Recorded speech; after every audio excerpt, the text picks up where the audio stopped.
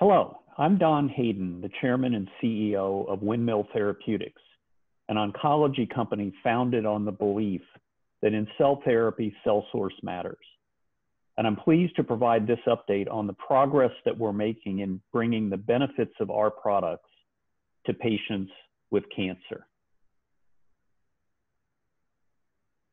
At WindMIL, our mission is to translate novel insights in bone marrow immunology into life-saving cell therapies for cancer patients. And we see ourselves as developing the next generation of oncology cell therapies based on the exclusive position that we have in marrow infiltrating lymphocytes, or what we refer to as MILs. We've developed a proprietary scalable process to activate, transform, and expand bone marrow derived T cells into MILs. And as we'll discuss in this presentation, we believe the natural qualities of MILs suggest meaningful advantages over TILs and other T cell therapies. And our position in MILs is protected by very strong intellectual property with composition of matter, process, and use patents, and very deep know how. Over the next 12 months at WindMIL, we expect key data readouts with both our MILs, non-gene gene modified MILs, and CAR MILs or gene modified MILs treatments. We'll talk about both in this discussion. Our phase two open label trial in second and third line relapse non-small cell lung cancer in combination with nivolumab, a clinical trial we're running in collaboration with Bristol Myers Squibb, and data readouts both in vitro and in vivo studies evaluating CAR MIL versus traditional CAR T using both heme and solid tumor CAR constructs. And those studies are being done in collaboration with Dr. Carl June's group at Penn Center for Cellular Immunotherapies. And at WindMIL, we plan to close a Series B extension by early fourth quarter to ena enable rapid achievement of these multiple milestones and successful execution of a crossover financing and IPO in 2021. This graphic illustrates in a very simple manner what we mean when we say in cell therapy, cell source matters.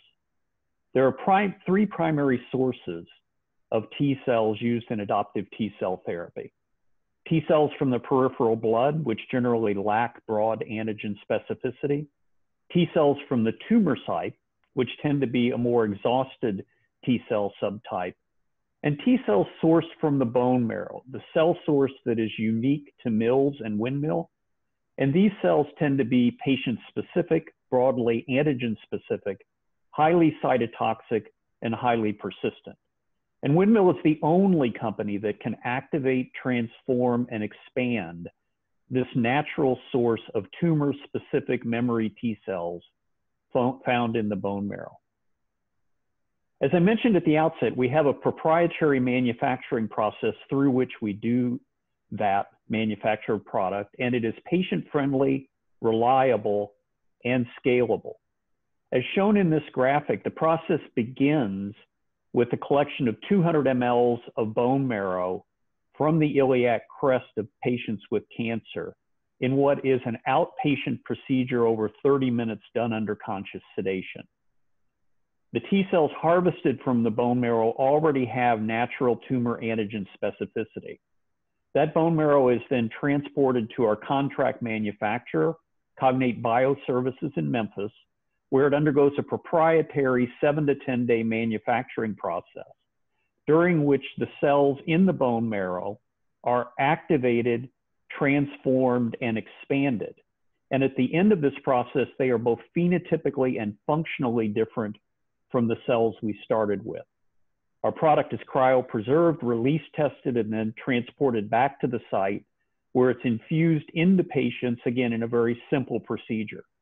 And the time from the beginning to the end of this process is as little as 23 days. As I mentioned at the front of this slide, this process is very patient friendly. It is reliable. We've been successful in more than 90% of our manufacturing runs and it's scalable both in our work through clinical trials and into the market. This slide provides a very simple comparison of the multiple ways in which we see MILs providing advantages as compared to other types of T cell therapy, in this case, TILs. And if you look across the MILs row from left to right, what you see is from a biological standpoint, MILs have very high antigen specificity. They are of a memory phenotype. As I mentioned, from a T cell collection perspective, the source of MILs is the bone marrow. We have found um, tumor antigen specific T cells in 100% of the bone marrow that we've sampled. And from an ease of acquisition perspective, the outpatient procedure under conscious sedation is very patient friendly. From a manufacturing standpoint, our manufacturing process with our Gen 3 process is seven to 10 days. It only requires low dose cytokines during manufacture. And our time from collection to dosing, as I mentioned before, is as little as 23 days. And from a clinical perspective, infusion of MILs does not require cytokines uh, to be infused concurrently at any point during treatment. MILs are very persistent. We know they persist in patients out to seven years. Um, and that's as far as we've looked at this point. And in addition to being um, highly cytotoxic um, and durable, MILs are also versatile. And as I'll talk about later, can be used as a source for CAR MIL therapy. Our initial target for unmodified MILs is solid tumors, and we believe there's a compelling preclinical profile to support our work there. Immune models suggest that a single antigen specific encounter generates a population of memory T cells, and those memory T cells naturally home to and persist in the bone marrow. And in fact, we found tumor specific T cells in bone marrow in a variety of solid tumors including non-small cell lung cancer, breast cancer, head and neck cancer, melanoma, and other solid tumors. And among these solid tumors, for a variety of reasons, our target of choice for our first clinical trial with MILs is non-small cell lung cancer. And this slide lays out the biological, clinical, and regulatory rationale for non-small cell lung cancer as our initial clinical target for unmodified MILs. From a biological standpoint, we know non-small cell lung cancer is highly immunologic. We also know that tumor-specific memory T cells have been consistently found in non-small cell lung cancer patient bone marrow. And through our own preclinical research, we know that MILs specifically recognize non-small cell lung cancer shared antigens. From a clinical perspective, we know there is very high unmet medical need and limited treatment options for patients after they've progressed on a PD-1 containing regimen. Given that, we believe that an open label study with objective response rate as a primary endpoint allows us to answer the efficacy question for MILs in patients with non-small cell lung cancer in as little as six to 12 months. Our dialogue with regulatory experts has told us that um, a 30% objective response rate in patients that have relapsed on or are refractory to PD-1 containing regimens would support discussion with regulatory authorities about an expanded registrational trial. And that point of view has been confirmed both clinically and regulatorily in our discussions with our scientific advisory board and a variety of key opinion leaders. We began our first clinical work in non-small cell lung cancer earlier this year in a clinical trial of MILs plus nivolumab in phase in non-small cell lung cancer patients that are refractory to or relapsed on an anti-PD-1 containing regimen. The first portion of this trial was a safety cohort where we administered MILs only to patients with non-small cell lung cancer and we saw no grade three or four toxicities. We saw no dose limiting toxicities. And on the basis of this safety, our safety monitoring board approved opening the combination therapy of the study in the second quarter of this year. As I mentioned, we're enrolling patients that have definitively progressed on an anti-PD-1 containing regimen. And these are patients that have locally advanced and unresectable or metastatic non-small cell lung cancer. The design of the trial is it's an open label, single arm, multi center study. intended to enroll 20 patients in the combination portion of the trial. Patients' treatment begins with lymphodepletion, after which MILs are administered on day one and nivolumab is administered on day two and every four weeks thereafter. The primary endpoint of the study is objective response rate, but we're following these patients over a longer period of time for duration of response, progression-free survival, and overall survival. The study is designed in a very adaptive manner that allows for cohort expansion and rapid transition to a pivotal trial. And our timeline for this trial is shown in the orange bars at the bottom of this slide. We expect to have response data from our initial five combination patients by the latter part of this year, response data from 10 patients, and early duration of response and progression-free survival data by the second quarter of next year, supporting potentially a Type C meeting with the FDA in the second half of next year. And assuming success from a clinical and regulatory perspective, we believe that data from this trial could support a BLA filing as early as the second half of 2023. Current status of the study is we have seven sites active. Three additional sites will become active in the fourth quarter of this year. We've already dosed two patients with MILs plus nivolumab in the combination portion of the study. We also have additional patients scheduled for bone marrow collection and dosing as we speak. And from a data perspective, we've uh, seen 12-week data on our first patient, and those data are very encouraging. As I mentioned earlier, we expect response data for uh, from three to five patients by the middle of the fourth quarter, five patients or so by the end of the year. And our target is to have response data from all 20 patients by the middle of 2021. We're pleased with the progress in our non-small cell lung cancer study, and we're optimistic about what we will see from this trial in 2021. As I mentioned, not only are unmodified MILs highly cytotoxic and durable, but they're also ver versatile. And we believe they may provide a superior cell source for CAR T therapy. CAR T therapy has clearly provided an advance in the treatment of cancer patients, yet the current therapies continue to have limitations limitations such as antigen escape variants, suboptimal trafficking, and lack of persistence. We believe the advantages of MILs as a cell source for gene modified T cell therapy have the potential to address these limitations. As it relates to antigen escape variants, we know that MILs retain their non CAR based tumor specificity through their native TCR. That native TCR remains functional both after transduction and CAR engagement.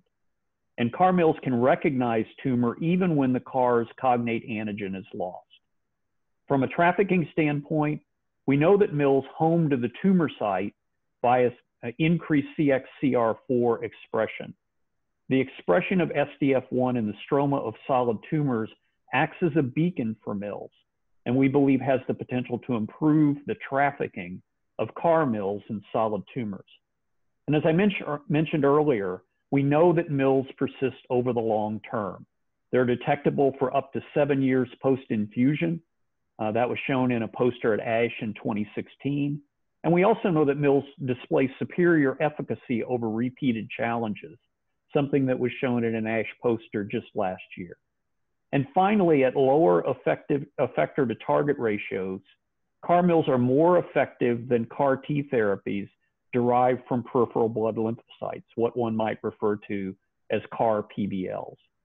And this extensive preclinical data package caught the eye of Carl June and his team at the University of Pennsylvania and led to the signing of a collaboration agreement in early 2020.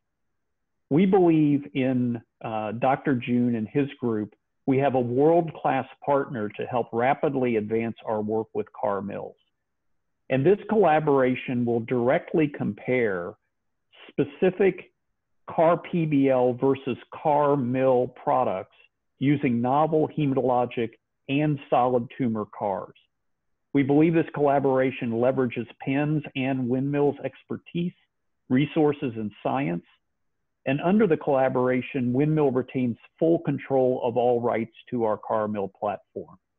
In the lower left-hand side of this slide, you see the timeline for upcoming data. In the first quarter of 2021, we expect to have preclinical in vitro data comparing CAR-MIL versus CAR-PBL, again with both heme and solid tumor con CAR constructs. In the third quarter of next year, we will have in vivo data comparing CAR-MIL versus CAR-PBL.